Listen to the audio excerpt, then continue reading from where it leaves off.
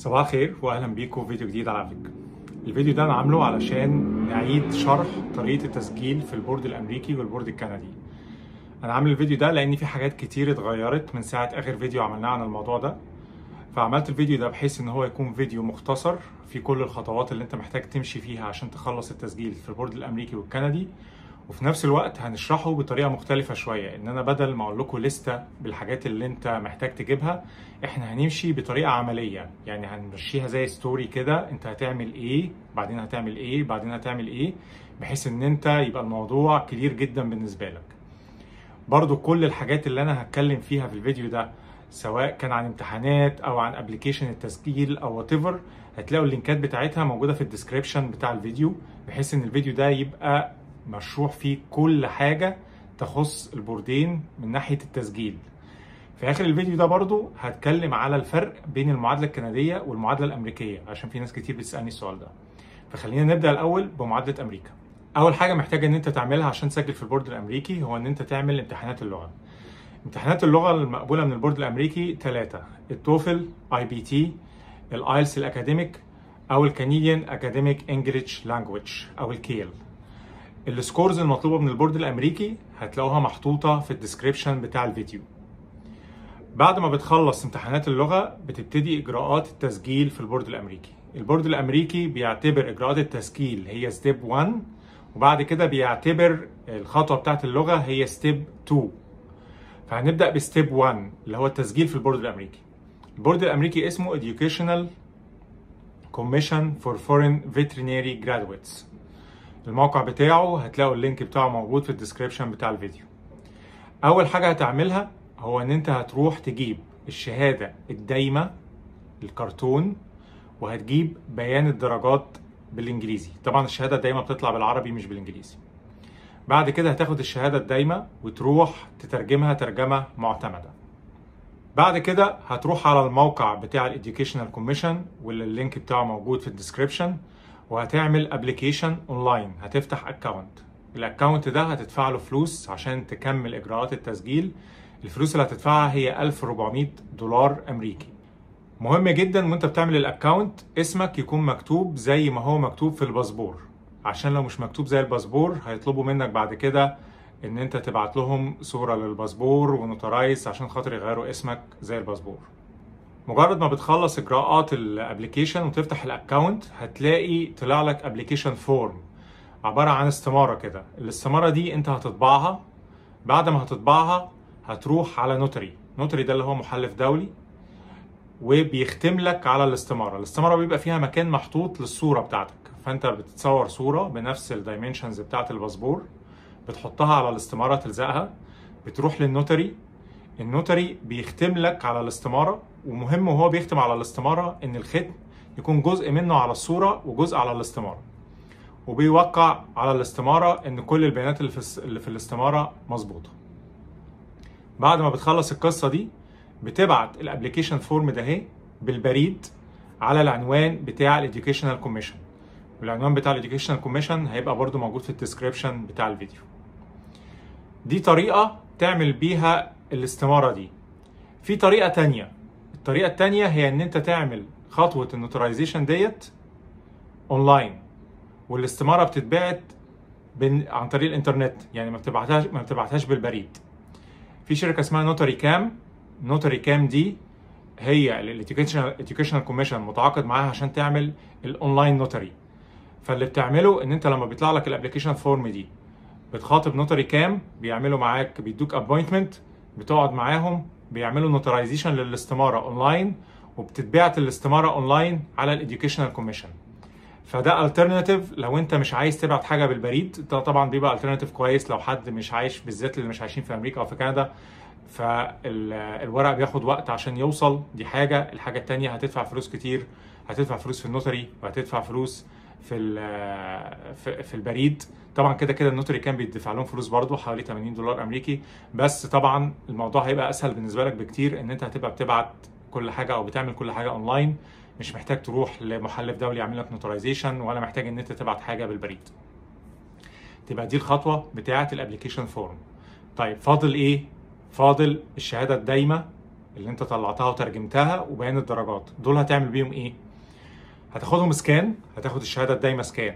وال translation بتاعها scan وبيان الدرجات scan. هتحطهم كلهم في 1 PDF file ال 1 PDF file ده هيتبعت بالإيميل. مين اللي هيبعته بالإيميل؟ يا إما يتبعت مباشرة من الكلية بتاعتك بإيميل الكلية يا إما تبعته أنت من إيميلك الشخصي. إيه الفرق؟ الفرق إن لو اتبعت من إيميل الكلية مجرد ما ال board يجيله ال PDF ويكون وتكون عملت ال NotaryCam خلاص كده انت تسجيلك اكتمل.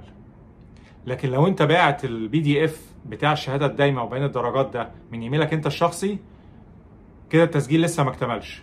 لازم ال board يخاطب الكلية بتاعتك الأول بيبعت لهم على الإيميل بتاعهم استمارة كده يطلب منهم verification إن هم ياكدوا يأكدوا إن أنت طالب في الكلية. الخطوة دي طبعا بتاخد وقت شوية ولازم تقعد تتابع مع الكلية إن هم جالهم الإيميل وإن هم ردوا فبتاخد وقت شوية. فلو أنت بعت من إيميلك الشخصي لازم هتمر بمرحلة ال verification ديت ده الفرق ما بين الطريقتين إن أنت تبعت من إيميل الكلية أو إن أنت تبعت بإيميلك الشخصي. خلصت الخطوة دي كده أنت سجلت في ال board الأمريكي وبقى ليك candidate ID number في ال board الأمريكي. step 2 هي اللغة. الدرجات هتبقى موجودة في ال description. وبيبقى فيه submission form لل language assessment بيبقى برضو ليه link على الموقع بتاع ال education commission بتفتح ال link ده بيطلع لك form ال form دي بتكتب فيها اسمك بتكتب فيها ال candidate ID اللي طلع لك بعد ما كملت إجراءات التسجيل. وبتكتب فيها ال scores بتاعتك. وبتكتب فيها ال reference number بتاع الشهادة بتاعت اللغة اللي انت طلعت لك بعد ما خلصت امتحان اللغة. وبتبعت ال form دي لل board الأمريكي اونلاين وهم بيعملوا verification مع الجهة اللي انت خدت معاها الامتحان عشان يتأكدوا إن البيانات مظبوطة وإن الشهادة بتاعتك مظبوطة. مجرد ما بيتأكدوا كده ال verification بتاع الشهادة اكتمل وكده انت بقى التسجيل بتاعك مكتمل تماما وجاهز إن انت تمتحن.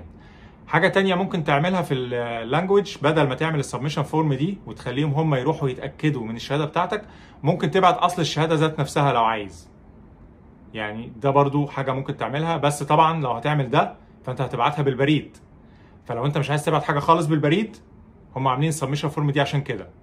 عاملين ال NotaryCam وعاملين submission form وعاملين إن أنت تبعت الشهادات بالإيميل بحيث إن أنت ما تبقاش محتاج تبعت أي حاجة بالبريد. يبقى العملية كلها اونلاين حاجة برضو مهم إن أنتوا تعرفوها هو إن أنت step 2 و sorry step 1 مش لازم تكتمل يعني ال verification خطوة ال verification لو أنت باعت الشهادات بتاعتك من الايميلك الشخصي ومستني الكلية ت verify إن أنت طالب في الكلية أو إن أنت متخرج من الكلية فعلا.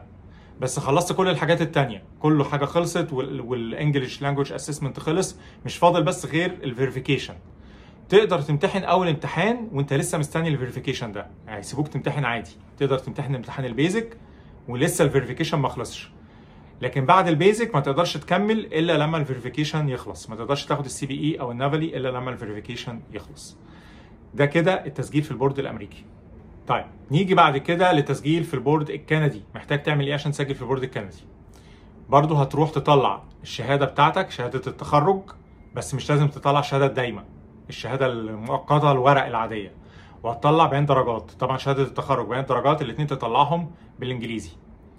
بعد كده تروح رايح تفتح account بيبقى هنحط برضو ال link بتاع ال account طبعا البورد الكندي اسمه National Examining Board هنحط ال link بتاع الموقع بتاعهم بتروح تفتح account وبتدفع فلوس التسجيل 780 دولار كندي. بعد ما بتفتح ال account هتجيب الباسبور بتاعك وهتطبعه تطبع صورة وتاخد الصورة دي وتروح تعمل لها notarization تتختم إنها صورة طبق الأصل من notary أو محلف دولي. الصورة دي لازم تتبعت بالبريد ما ينفعش تبعتها اونلاين وهحط برضو العنوان بتاع ال National Examining Board البورد الخاص بالبورد الكندي احطه في ال description بتاع الفيديو. فبتبعت صورة الباسبور notarized بالبريد. طيب الشهادة وبيان الدرجات هتعمل بيهم إيه؟ عندك two options يا إما تبعتهم بالإيميل ولو هيتبعتوا بالإيميل لازم يتبعتوا من الكلية. يعني ما ينفعش تبعتهم انت بنفسك زي البورد الأمريكي. لازم الكلية إيميل الكلية الرسمي هو اللي يكون مبعوث منه ال scan بتاع الشهادة وبيان الدرجات. ال option الثاني إن أنت تبعتهم بالبريد. طبعا لو هتبعتهم بالبريد يبقى ابعتهم هم كمان مع صورة الباسبور. يعني بدل ما تبعت صورة الباسبور لوحدها وبعدين تبعت تاني بريد شهاداتك ابعت كله في جواب واحد بس لو بعت الشهادات بالبريد ساعتها هتستنى برضو إنه يتعمل verification من الكل من البورد إن أنت متخرج من الكلية. لكن لو الشهادات مبعوثة directly من الإيميل بتاع الكلية هيقبلوا على طول الورق بتاعك من غير verification لأنها already مبعوثة من إيميل الكلية الرسمي. طيب يفضل حاجة واحدة اللغة. إحنا ما اتكلمناش عن اللغة في البورد الكندي.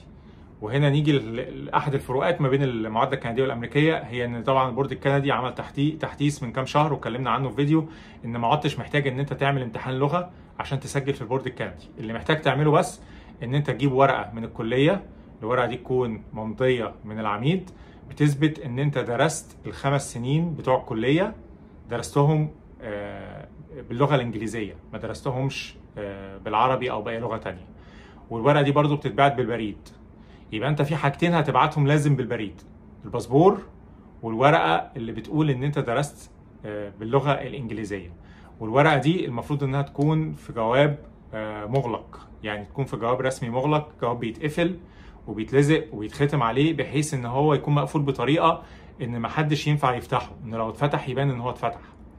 فدي برضو نقطة مهمة في الطريقة اللي تعمل بيها الجواب والكليات بتبقى عارفة إزاي تعمل الجواب ده.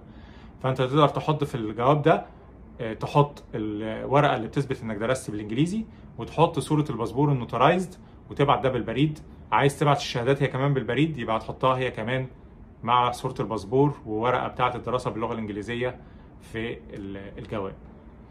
خلصت الإجراءات دي كلها كده أنت سجلت في البورد الكندي ودي كده خطوات التسجيل في البوردين البورد الأمريكي والبورد الكندي.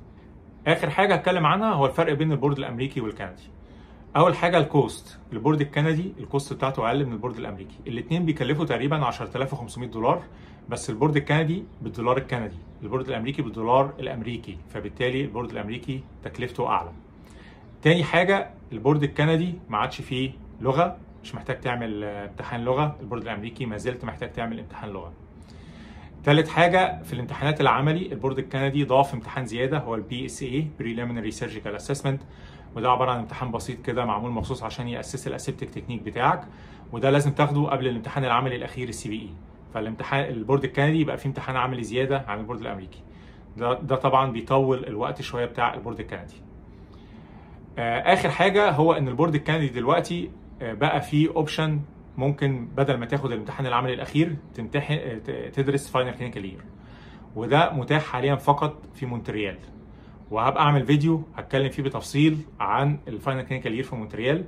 الكليات التانية اللي قالت إنها هتعمل ال final clinical year برضو هي الكلية Western College في البرتا في كالجري هي لسه ما عملتش ال final clinical year بس هم قايلين إن هم يعملوها لكن في مونتريال already بدأت و already شغالة.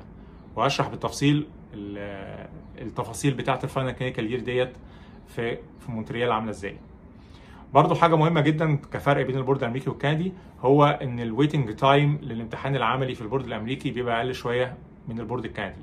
والبورد الأمريكي لما بتقول إنك عايز تمتحن ال CBE وبيكون جاهز ليه كل في وقت معين تقريبا في حوالي شهر 8 بينزل لستة بكل ال dates المتاحة للسنة اللي جاية لامتحان ال CBE وكل date فاضل فيه كام seat فأنت already عارف أنت هتمتحن إمتى وبتحجز الميعاد اللي أنت عايزه ولما بتحجز بتدفع 1000 دولار بس وبتدفع الباقي قبل الامتحان تقريبا بشهرين مش فاكر الفترة بالظبط.